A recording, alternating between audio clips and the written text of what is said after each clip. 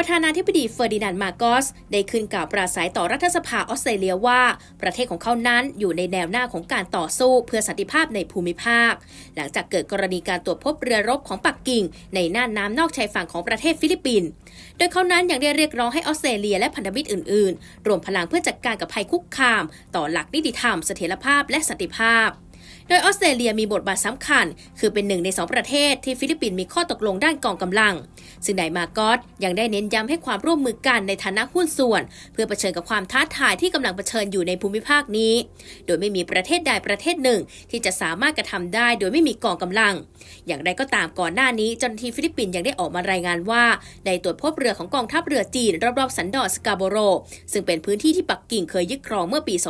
2555 อีกด้วย